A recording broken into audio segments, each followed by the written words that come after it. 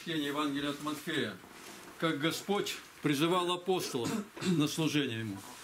Два брата, идите за мной, они идут. Другие сети дырявые починивают с отцом своим в лодке. Остановился, идите за мной. Они, говорят, оставили отца и сети, а те первые бросили сети даже. Бросили и пошли. Вот так вот представьте, отец остался один с сетями. Как? Что делать? Один-то не будешь рыбачить, надо обязательно сеть-то вытаскивать, один-то не вытащишь ее, как должно. Пошли. Это говорит о том, что вот так должно поступать. Если пошел назад, то не оглядывайся назад. За Христом иди по Его стопам. Только тогда можем достичь Царства Небесного, если будем идти по Его стопам, то есть по Его заповедям, по Слову Его. Был такой случай однажды. Шла беседа. Вот. И за беседой присутствовала моя мама, Мария Егоровна. И там поднялись такое, что понятный или нет славянский язык. Ну и привели место, что, что взявший заорала и обрящийся вспять, ну, неудобно для Царства Небесного. Орала – это плуг. По-славянски орала. Ну и что, понятно? А мама первая, а там были пятидесятники на этой беседе еще. Мама, а что здесь непонятно? Если пошел ты, говорит, за Господом, то рыло назад не вороти. Орала? Рыло. Рыло. Рыло, говорит, назад не вороти, а иди. Не, то есть не оглядывайся назад. Ну и все, конечно, все так были удивлены, как она так это сказала. Она все поняла так, как должно быть. Орала, рыла. Вот так вот есть, то есть когда идем, то не нужно глядеть, а что это будет, а какие будут мне лишения, а что будет там будет или нет впереди что-то, а что я сзади потеряю, может я пойду, а что-то потеряю, а приобрету ли я после того что-то потеряю. А? Когда у нас некоторые уходили из общины, некоторые просили благословения. Батюшка, благословите, я вот хочу, значит, уйти. Я говорю, ты ищешь большего что-то духовного – роста своего духовно хочешь. Да, это, ну, Бог благословит тогда, конечно, давай иди тогда. Вот. Но, как оказалось, никто из всех, кто ушедших из общин, никто большего духовного роста не достиг. А, как правило, большинство из них потеряли и то, что имели. Потому что всегда там, где есть какая-то дисциплина, есть устав – там может это общество существовать. В армии, если нет устава, там, говорит, если командир сказал тебе, что какой-то дал наказание, но он не прав совершенно, ты не должен прикасаться, ты должен исполнить его наказание, а тогда уже жаловаться. Знаете как? Потом. А вначале ты исполни. Приказ. Смотришь кино, приказ, дан приказ взять высоту. Как брать высоту? Люди с винтовками, а там пулеметы не один десяток пулеметов, немцы из пулеметов срачат. Но приказ идти, ну что, конечно, все погибли. От батальона осталось там что-то человек 40, наверное, всего. А в батальоне-то, наверное, больше сотни. Все. Тысячи. А? Больше тысячи. В батальоне больше тысячи? Да. Да. Вот 300 человек. Ну вот так вот примерно. Так. Это не сейчас вот э, по радио слушаю я как-то. Э, по России, и там сообщает это вот такое, что вспоминает война, как была эта победа, и какие вот первый 41 год, он батальон его, и он остается, считай, там с десятками человек от всего батальона. А что, приказ надо было, приказ было выполнить. Поэтому здесь мы не должны никогда советовать, а что я должен, потеряю я что-то или приобрету? Нет, вот это по примеру апостола, они не советуют. А что, мы оставим отца с дырявыми сетями. А что мы за тобой пойдем и что приобретем? Ты нам, может, новые сети дашь? Или что-то другое? Стали бы торговаться. Оставили и пошли. Сразу пошли. Все. Беседа называется «О спаситель», о, о призвании апостолов, исследования за спасителем. Посмотрите же, какова их вера и послушание. Они заняты были своим делом – а вы знаете, как приманчивая рыбная ловля?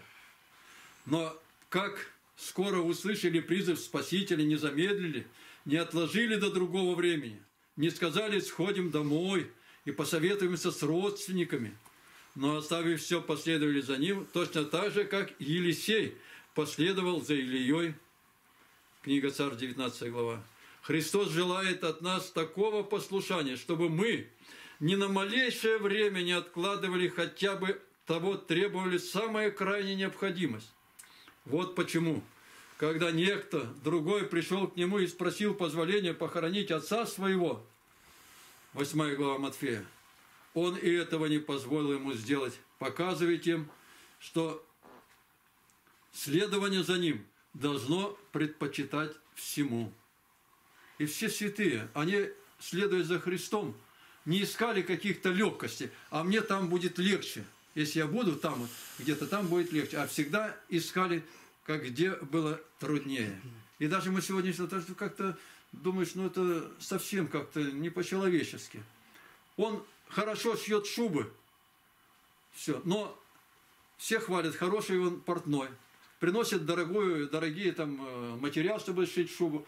А он, чтобы на себя найти поношение, он все шубу шьет хорошо, один рукав возьмет, да наоборот его пришьет как-нибудь или там еще что-нибудь, какой-то изъян сделает в этом. Его за это дело побьют даже он. Вот, слава тебе, Господи, я, значит, скорбь какая-то мне была.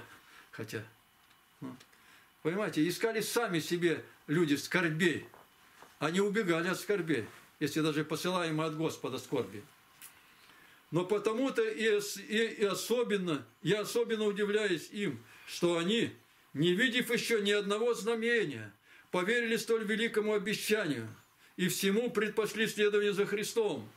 То есть, если не видели, как он пятью хлебами пять тысяч накормил. Если вы вперед да, сказали, о, это тот, что надо, это пойдем мы за ним. Что здесь всегда будет хлеб у нас, и рыба будет там, это все будет с ним.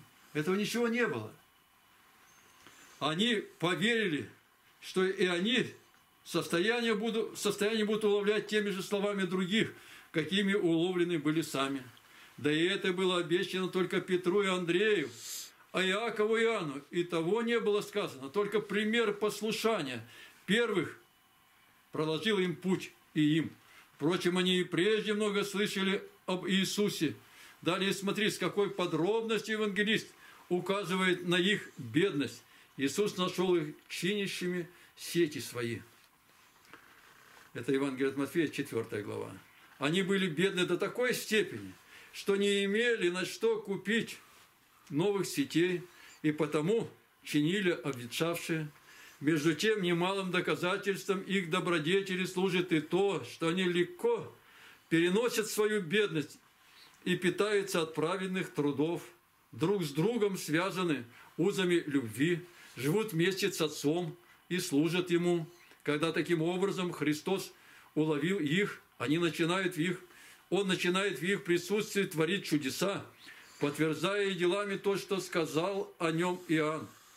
Он начинает часто посещать синагоги, научая этим учеников своих, что он не противник Богу и не обманщик какой-либо, но пришел согласно воле Отца и при посещении синагог он не только проповедовал, но и творил чудеса. Итак, он ходил и по городам, и по селам, и по синагогам их научая тем нас воздавать за словословие не злословием, но большими благодеяниями. Если ты оказываешь благодеяние своим сарабам, не для людей, но для Бога, то как бы они ни поступали – не переставая благодетельствовать, чтобы получить большую мзду. А кто перестает благодетельствовать, потому что его злословят, тот показывает, что он благотворил не ради Бога, но ради похвалы от людей. Вот почему Христос, научая нас, что Он по одной благости пришел благодетельствовать, не дожидался того, чтобы приходили к Нему страждущие, а сам поспевал к ним Принося и им два величайших блага. Во-первых, Евангелие Царствия, во-вторых, исцеление от всех болезней. Он ни, города не проходил мимо, ни селения не пропускал, но посещал всякое место, даже и тем не довольствовался, но показывает еще большую заботливость. Видя толпы народа, говорит евангелист, он жалился над ними, что они не были изнурены, и рассеяны, как овцы, не имеющие пастыря. Тогда говорит ученикам своим, жатвы много, а делателей мало. Итак, молите Господина жатвы, чтобы выслал делателей на жатву свою. Матфея 9 глава. Смотри опять, как он далек от тщеславия. Чтобы не водить всех за собой, он посылает учеников. Впрочем, не для того только посылает, но и для собственного их обучения, чтобы образовавшись в Палестине, как бы в некотором училище ротоборства, они приготовили себя к подвигам в целом мире. Потому-то, как юных птенцов, приучая к летанию, он открывает обширнейшее поприще для их действия. Только сто, сколько было то порази, соразмерность их силы, чтобы они удобнее могли приступить к последующим подвигам. И сначала делает их только врачами тел, чтобы после верить им и важнейшее – врачевание душ. И смотри, как показывает легкость и необходимость этого дела. Жатвы, говорит он, много, а делателей мало. Я, говорит, посылаю вас не сеять, но жать. Подобным образом, сказал он Иоанну, другие трудились, а вы вошли в труд их. Аминь. Аминь.